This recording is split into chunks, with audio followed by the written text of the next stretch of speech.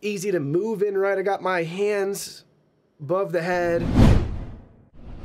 Hey everyone, today in this video, I'm to be checking out the Nike men's Dri-FIT short sleeve polo in navy. If you're interested in this Nike polo or you want to find out more about it, the link to it will be in the video description. Also, I want you to know that this is available in 14 different colors and multiple sizes ranging from small all the way to 3XL. Now let's go ahead, let's open it up and look at the polo. So really quickly, I wanted to show you that I actually bought multiple colors, and I thought it was really interesting how the navy one looks like it's been repackaged out of maybe its original plastic bag. Not sure why that's the case. Obviously, with different sellers, things along those lines, you just never know. But the black and the royal both came in what appear to be maybe their generic retail packaging. They got the same Nike stickers right here. We can see their tags all of that good stuff, where the Navy one has clearly been repackaged at some point along the way. All right, so here's a look at the Navy Polo. Check it out. We got the Nike swoosh over the right chest. We have our Nike product card right here with nothing on the inside. On the back, we have some additional product information. On the inside, we have made in Vietnam with our sizing and Nike's logo. So look at that. Three buttons again. We'll move it up you can see the very bottom where we have at both corners right there. Now we'll flip it over to the back side. Here's a look at the polo from the back. Looks nice. Here's a look at the back side right there. Now, just for a second, I thought it was interesting since I did buy a couple other versions of this. I wanted to show you what we got with the Royal. So, Everything looks the same right here, right? Same card, same design, although a little bit different in variation, so I found that interesting. But on the back, same sticker, right?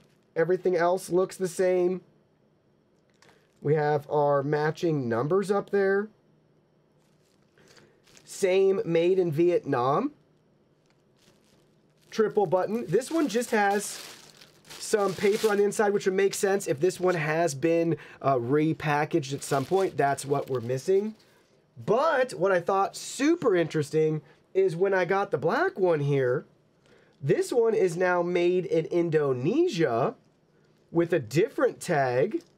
Same thing to open it up, nothing there. Back, we actually have a different number, so it appears to be a different product altogether because while it looks the same here, right? Everything looks the same right there. This one on the back actually has the Dri-FIT branding that isn't on the other polos, whether it's the navy or the royal one. So I thought that was interesting. Maybe a couple different versions, variations, old versus new, or a variation between manufacturers. Now I'm wearing the polo. Check it out. Everything fits great. I'm 5'9", Really happy with the fit of the polo. Definitely true to size, so go with your usual size. I think you'll be happy with that.